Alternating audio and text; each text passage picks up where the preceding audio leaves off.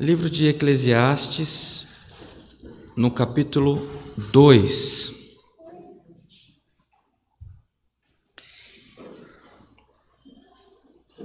Livro de Eclesiastes, no capítulo 2, vamos ler a partir do verso 1. Vamos ler com a ajuda de Deus e a guia do Espírito Santo. Amém. Amém. Disse eu no meu coração: Ora vem, eu te provarei com alegria. Portanto, gozo o prazer, mas eis que também isso era vaidade. Do riso disse: Está doido? E da alegria de que serve esta? Busquei no meu coração como me daria o vinho, regendo, porém, o meu coração com sabedoria, e como reteria a loucura até ver o que seria melhor que os filhos dos homens fizessem debaixo do céu durante o número dos dias da sua vida. Fiz para mim obras magníficas, edifiquei para mim casas, plantei para mim vinhas, fiz para mim hortas e jardins e plantei neles árvores de toda espécie de fruto. Fiz para mim tanques de águas, para regar com eles o bosque em que reverdeciam as árvores. Adquiri servos e servas e tive servos nascidos em casa, também tive grande possessão de vacas e ovelhas, mais do que todos os que houve antes de mim em Jerusalém. Amontoei também para mim prata, ouro e joias de reis e das províncias. Provi-me de cantores e de cantoras, e das delícias dos filhos dos homens e de instrumentos de música de toda sorte. E engrandeci-me e aumentei mais do que todos os que houve antes de mim em Jerusalém. Perseverou também comigo a minha sabedoria. E tudo quanto desejaram os meus olhos não lhes neguei, nem privei o meu coração de alegria alguma, mas o meu coração se alegrou por todo o meu trabalho, e esta foi a minha porção, de todo o meu trabalho. E olhei eu para todas as obras que fizeram as minhas mãos, como também para o trabalho que eu, trabalhando, tinha feito, e eis que tudo era vaidade e aflição de espírito, e que proveito nenhum havia debaixo do sol. Somente até aqui, meus irmãos. Amém. Amém. Bendito é o nome do Senhor, Irmandade. Que mais uma vez o Senhor tem nos despertado em um texto que Ele quer falar com a minha e com a sua alma. Estamos juntos nessa caminhada, estamos juntos nessa missão, estamos juntos para receber o conselho do Senhor.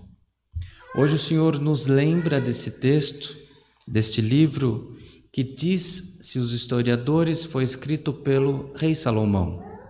Sendo ele ou não, o que fica é a experiência de um homem que governou, um homem que teve muita prosperidade, que teve muitas posses e que tudo o que quis o coração ele alcançou. E tendo alcançado todas as coisas que desejou o coração dele, ao final ele percebeu que era vaidade, que era aflição de espírito.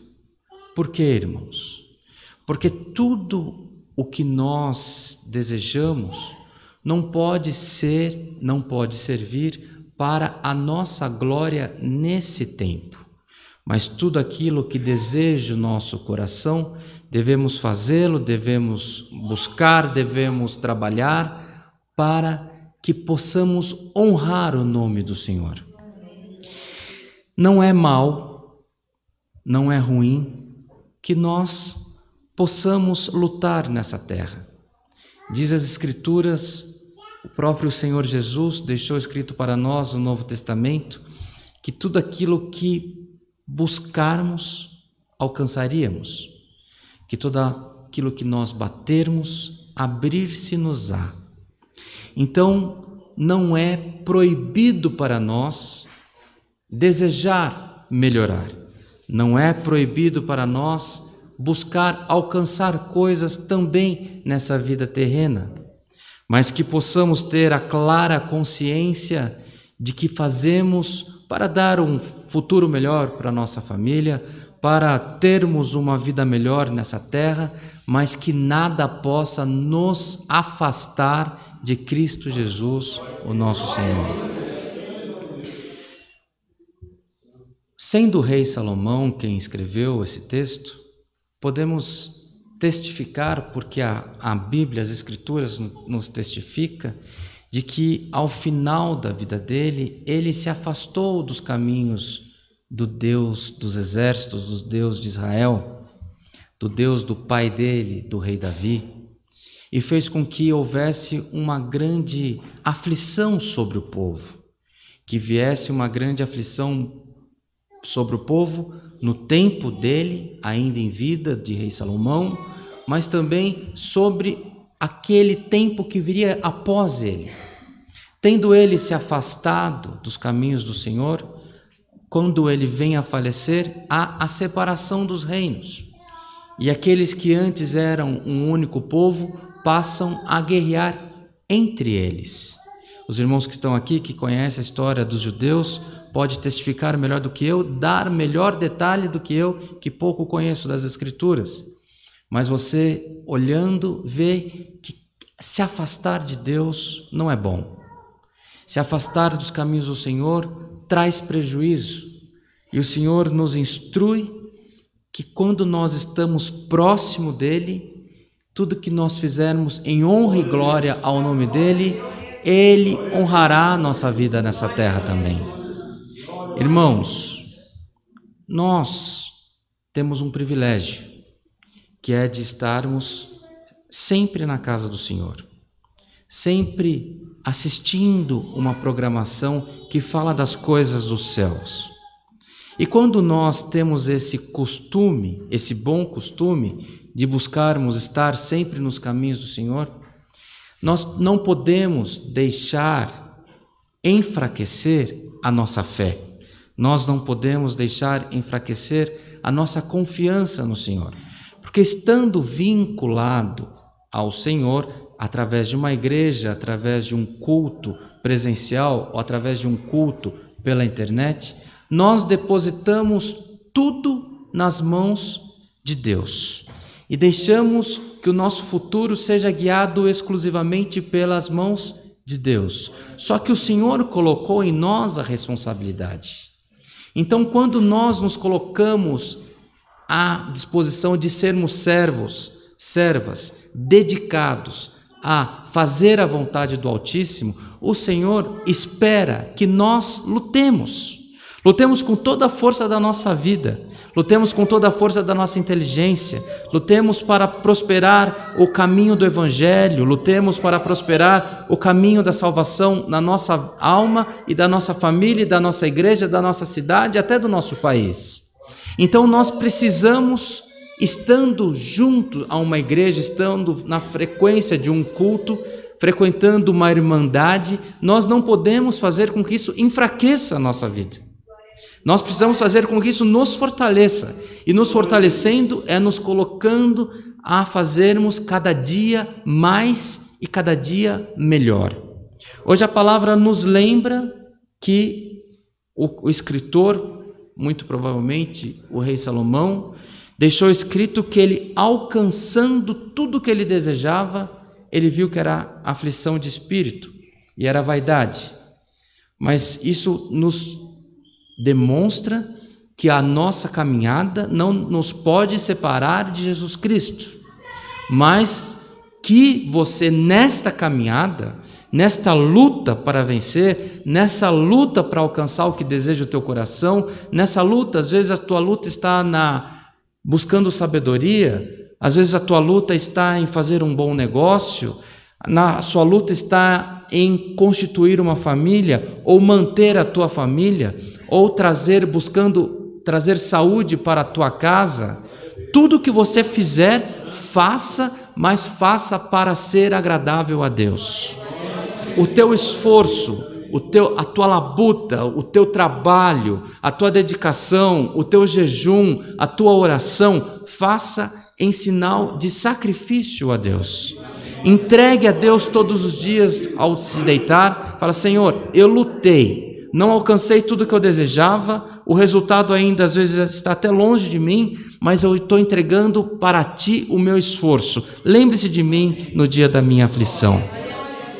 Irmãos, quem escreveu, sendo o rei Salomão, ele se afastou do Senhor. Ele teve um final ruim. Mas quando nós fazemos com dedicação a sermos agradáveis a Deus, o nosso caminho, o seu caminho, será caminho florido, terá flores o nosso caminho, terá alegria, porque quando você vê uma árvore, geralmente no outono, você vai ver até a prefeitura, às vezes ela poda a árvore, a árvore começa a secar, eles vão e cortam, fica só o tronco, com poucas galhadas, só as mais fortes, e você olha para aquilo, não é bonito. Você olha para a grama, a grama fica seca, fica feia. Mas quando chega a primavera, quando chega o tempo das chuvas, do calor, você começa com aquela árvore feia, ela já está florida, ela já está bonita, o jardim já está em flores, já tem grama no jardim, então fica tudo mais. dá mais prazer até passar por aquele caminho. E quem trabalha quem luta, quem busca prosperar, mas com dedicação a ser agradável a Deus, o Senhor nos promete que o nosso caminho será florido, será alegre, terá paz na nossa vida, terá paz na nossa entrada, terá paz na nossa saída, terá paz por todos os caminhos que nós passarmos. Há aflição? Há. Seríamos hipócritas de falar que não temos aflição? Será que nós não nós vamos negar que há pouco nós estávamos orando por uma lista de oração, por causas difíceis na congregação, por causas difíceis que nós temos através da lista de transmissão da internet? Será que nós seríamos hipócritas de negar que a aflição tem, mas o Senhor fala que a aflição ele aparecerá, irmãos. Nós haveremos de lutar com toda a nossa força e o Senhor haverá de nos acompanhar e fazer aquilo que nós não conseguimos resolver. Então, que possamos sair dessa igreja hoje fortalecidos na fé, fortalecidos no compromisso de sermos agradáveis ao Senhor. Está boa essa palavra, irmãos? Vamos confiar mais no Senhor. Vamos lutar mais para defender o Evangelho de Jesus Cristo. Tem um homem que até uma outra religião buscou canonizá-lo, que ele fala que nós devemos dar testemunho de Jesus Cristo no nosso trabalho cotidiano. E se nós buscamos dar testemunho de Jesus Cristo no nosso trabalho cotidiano, nós não fazemos ele de qualquer jeito. Nós fazemos ele buscando sermos perfeito. E a perfeição às vezes exige que você dê um passo para trás, realinhe os seus objetivos, realinhe os seus projetos, ou às vezes você tem que botar marcha no teu projeto.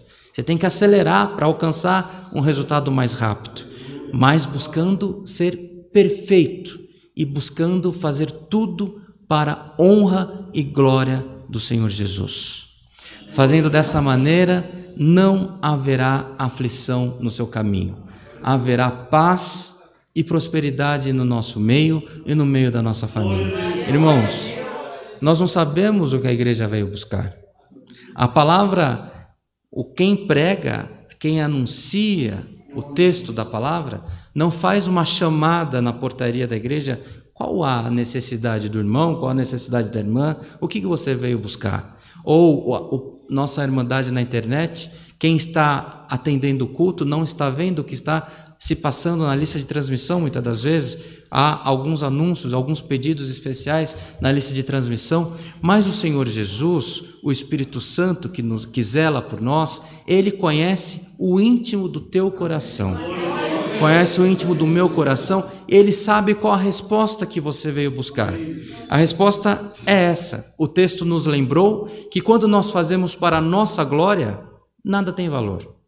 Se eu comprar um carro ou buscar ter uma roupa melhor que a do meu irmão, da minha irmã, um carro melhor que isso vai me trazer tristeza. Isso vai me trazer miséria, uma miséria na alma, uma miséria no coração, uma miséria na mente, porque ser pode ter o dinheiro que for, a pessoa continuará pobre, porque a glória dela está na terra. Mas quando você luta, quando você batalha para honrar o Senhor, quando você fala assim, não, eu vou dar um carro melhor para minha família, sim, porque com esse carro o Senhor vai se alegrar, porque eu vou para a igreja, eu vou dar testemunho que o Senhor está me abençoando, eu vou dar sim um melhor carro, uma melhor casa para minha família, eu vou sim buscar ter uma melhor saúde, eu vou sim buscar ter um melhor emprego, um melhor trabalho, vou empreender, vou lutar para dar certo. Vou lutar para ter mais saúde, vou buscar o melhor tratamento, porque fazendo assim eu testificarei que o Senhor é na minha vida. Então que possamos sair daqui dessa igreja hoje com esse compromisso para nós, irmãos. Não vamos abaixar a nossa cabeça. Não vamos nos comportar de qualquer maneira. Não vamos ser reconhecidos como o crente ou a crente que aceita tudo de qualquer jeito. Não, você vai ser reconhecido como o crente, a crente, que busca sempre o melhor, que sempre tem um bom conselho, que sempre pode ser agradável. As pessoas querem estar do nosso lado, querem estarem próximas a nós, porque quando você abre, é um manancial de águas tranquilas. Assim, agindo, o Senhor se agradará e manifestará o poder dele através de nós e nas nossas vidas também. Recebamos essa palavra, irmãos, como vinda de Deus e que por tudo nas nossas vidas o nome de Deus seja sempre louvado. Amém. Amém. Irmão Daniel, vem à frente. O servo de Deus virá à frente agradecer o culto por nós em comunhão. De joelhos, buscamos o Senhor em oração em nome do Senhor Jesus. Amém.